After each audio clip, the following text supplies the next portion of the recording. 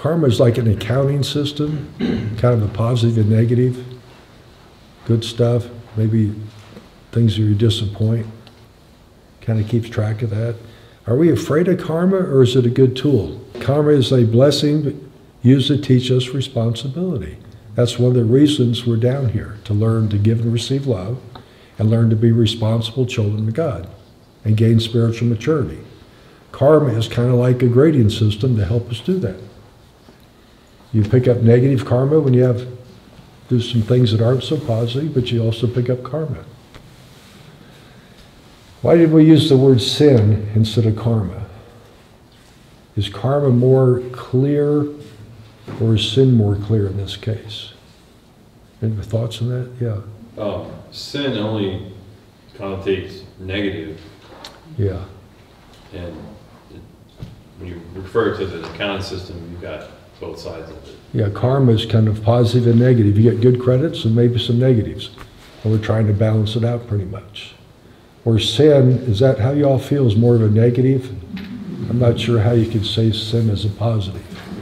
So do we, do we feel that the word karma is more, more balanced than just using the word sin? Yet most Christians, the word karma, I don't think comes up. It's only sin. Let's jump to the next one. We do not believe that a child of God is born in sin, though the child may have karma from a former life.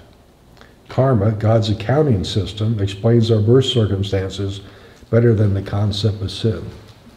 Do you ever wonder how many Christians or former Christians leave Christianity because they cannot accept that their child, this beautiful little child, is born already a sinner?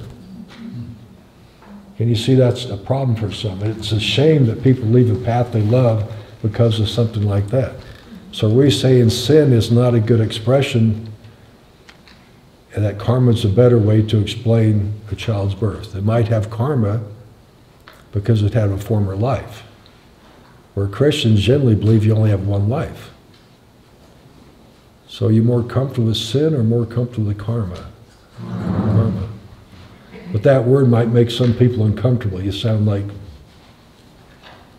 you know, you're on a whole different path. I think karma explains the, child's birth into the type of family, the wealth, the health, the country they're born in, based on what they did before, and what lessons are they born in with karma to be punished, or what would be the best lesson for them based on how they did last time in a former life. But if you don't believe in former lives, this doesn't make sense. So we love Christianity and Jesus, but the idea of one life doesn't, doesn't make sense anymore to us.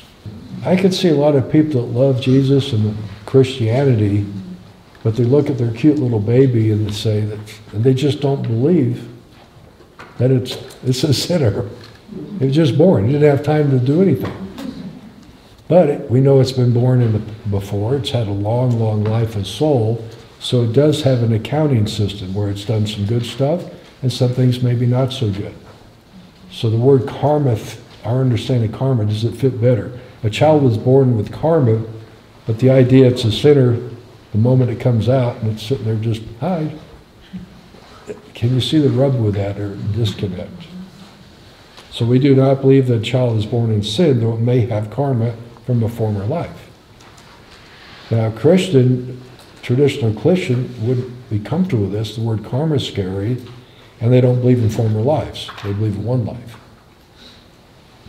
So karma explains better the family, the country, the circumstance, the health, the looks of a child, its capabilities is based on its karma, not on sin.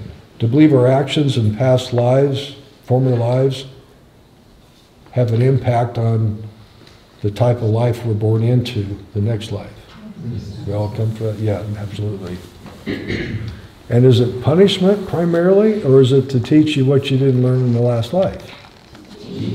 Yeah, it's actually a blessing. God will put you in a spot that will balance out what you learned or did not learn in a former life. It's not all about punishment, although it might feel that way. Okay? I think it just makes more sense to us. We know we have many lifetimes. We create positive and negative.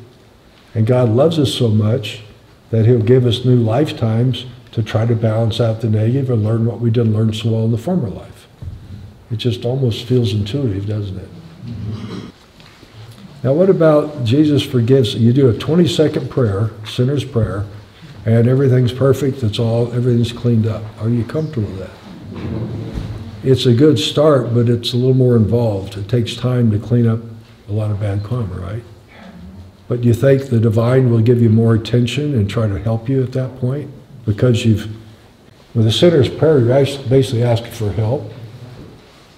So is that a good thing when a Christian does the sinner's prayer and 20 second prayer and people say they're all born again, they're all fine? Do we feel that it's all fine or it's a really good? Start. It's a good start. It's a good start, but it takes time. And some Christian preachers, like Joel Osteen, I think, figures you're fine, everything's perfect now after 20 seconds. Somebody I would think more like Joyce Meyers thinks it's probably a good start. And we're probably more aligned with which? Joyce? It's a good start. So let's see. So do we believe Jesus or a prophet can remove karma? Yeah, we see it up here. Sometimes it's so overwhelming you can't even get started. So it gives you like a starter kit, helps you out a little bit. But if if a prophet, including Jesus, did it all for you, remember why we're sent down here in the first place to learn to be more mature, to make better decisions, right?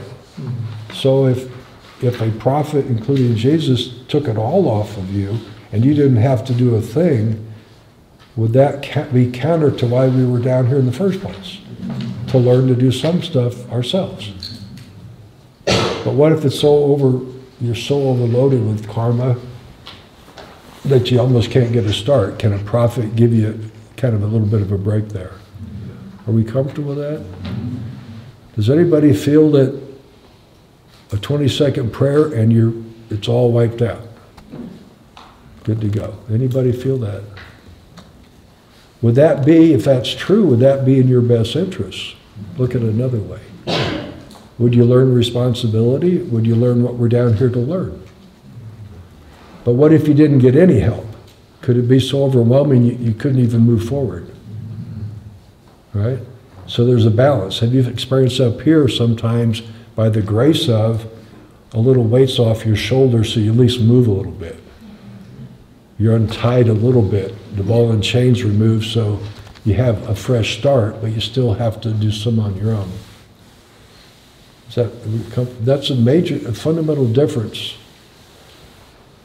with, I think, the Christian church and, and how we see it. And I think we're seeing it the way it was originally taught. And over time, it becomes expedient to get a bigger following to just wave a wand and say, like Joel Osteen, I like him, but I don't think 20 seconds makes everything okay because you can't learn anything if it's all taken care of. You're still loved. You may be forgiven, but we're down here to learn responsibility. That's why God sent us down in the first place, right? So if it was all taken care of, then the reason we're down, that could have been taken care of at the ocean. So there's a balance. Have you found up here that you get enough help to get you past where you're not just frozen where you get moving again. You're given by grace of God enough help and forgiveness to get going to where you can help yourself a little bit. It's a balance. So we're saying a prophet or Jesus can remove karma. We see that up here. But it's also to remove it all would be a disservice and you wouldn't learn, right? If, if it was totally removed. Is that how we feel? So it's a balance. Remove enough to help you out as a gift of love, but also, you, do you feel better about yourself if you do some on your own? So if a prophet removed it all, it's taken away a chance to build confidence and you know, and there's no reason to change. So we agree, Jesus or any prophet can remove karma when necessary to help us get started, to get you, get you moving again and you're so locked down with stuff you can't even move. Whatever you want, just your past just erased? Or do you, you feel like you want to be responsible to the point that you're capable? I think over time, the preachers started teaching, they got quick, more and more, just do your, do your uh, 20-second sinner prayer, and you're all good, you're born again. I think that's, I don't think that's true, and I don't believe that was the original intent of forgiveness. Right? Otherwise, there's no sense of having you down here. God could have done that at the ocean, and there wouldn't be the fall. You wouldn't have to come down here. The point is, you come down here, and that's our guiding light. From the 12th heaven, where we were not very responsible, if God doesn't help you some by forgiving some and giving you a break on some, you probably couldn't get moving. But if He does it all, He could have done that at the ocean. Right? There's a balance. We're supposed to learn responsibility down here. And God loves us so much, He helps us. And if it's too much, we can't move, He takes some away, at least temporarily. But if He took it all away, He could have done that at the ocean. There's no sense of being down here. So if God took away all karma, all sin, in 20 seconds, couldn't He have done that at the ocean and not have to come down here in the first place? We're down here to learn to be more responsible, more mature. And that means doing some of the stuff that we can do. The forgiveness covers things that we're just not strong enough to do. So the divine can hold the karma. Can it even give it back when you're stronger? And give a little bit back. So we're still seeing, saying Jesus and prophet can remove karma when necessary.